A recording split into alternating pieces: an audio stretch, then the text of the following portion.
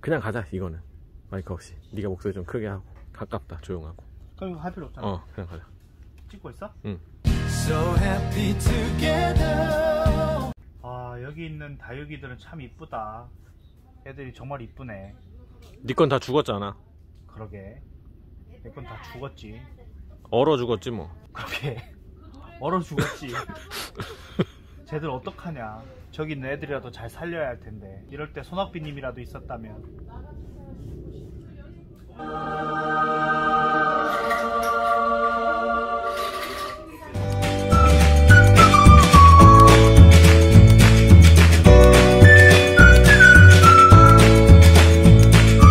드디어 손학비님이 와주셨어요. 바쁘신 와중에 이렇게 손학비 힐링팜에 와주셔서 너무너무 감사해요. 왜냐하면 제가 사고를 쳤거든요, 얼마 전에. 혹시 영상 보셨나요? 네, 봤어요.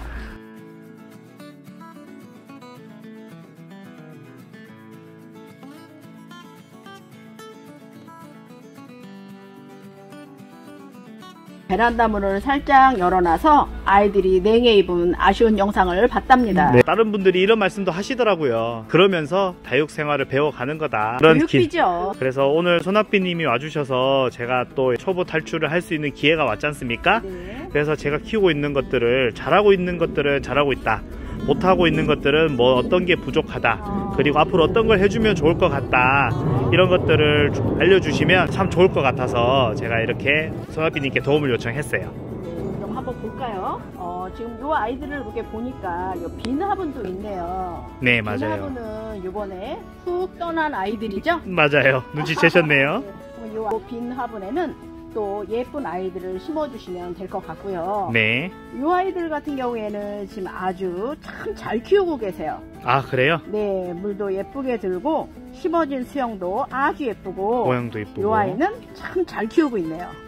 감사합니다. 네, 그리고 이 아이는 베리 종류 같은데요. 아, 이 아이는 지금 풀분에 심어졌다고 해도 너무나 배양토가 밑에 음. 내려가 앉아 있어요. 그렇게 되면 통풍에 지장이 많거든요. 아, 그러니까 풀분에 심는다 해도 식물을 좀 위로 올려서 배양토 위에 가는 마사 마감토 한 게 요 화분하고 이렇게 똑같이 아. 수평이 되게끔 심어주시는 게 아주 좋아요. 네. 좀 이렇게 모아서 심어주세요. 네. 요 아이는 뭔가요?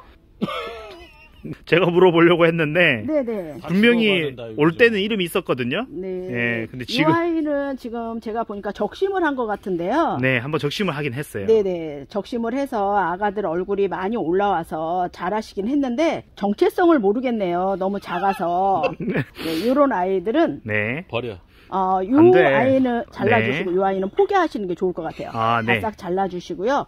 요 아이들은 배양토를 좀 더 담아서 영양분을 좀 주셨으면 좋겠어요. 지렁이 분변토 네, 같은 거요? 네, 그렇죠. 오. 지렁이 분변토를 조금 넣어서 심어주시면 아이들이 얼굴이 커질 겁니다. 어, 요 아이는 참 이쁘네요. 요 아이는 뭔가요? 이거 화이트 그린인데 죽은 화이트, 화이트, 그린이 그린이에요. 아니야? 근데 화이트 그린이가 냉해를 입었는데 색감이 정말 예쁘네요. 죽은 거 아니야? 죽은 거 뭐. 맞는 것 같아. 아이고, 죽었네 아 뿌리를 봐서는 모르겠고 요렇게 지금 냉해를 입었다고 해도 그늘에 내려놓으면 음. 살아날 수 있어요. 그늘에요. 네네. 이렇게 빛에 방치하지 마시고 다이 밑에 그늘에 놔두면 요 아이가 소생할 수 있답니다. 아, 그러니 요 아이는 희망을 좀 가져보세요. 알겠습니다. 꼭 살리고 싶어요, 쟤는. 죽은 게 아니구나 그리고 요 아이는 네, 지금 풀분에 있는 아이인데요. 네, 식물에 비해서 너무 화분 사이즈가 커요. 네, 그리고 안 이쁘죠? 네, 요 아이를 네. 요런 화분으로 이사를 시켜주세요. 음, 분갈이를 해주는 네, 거죠? 네, 분갈이를 해주시면 훨씬 더 이뻐 보일 거예요. 좋은 집을 좀 주세요. 네, 알겠습니다. 좋은 집으로 이사를 시키겠습니다. 네.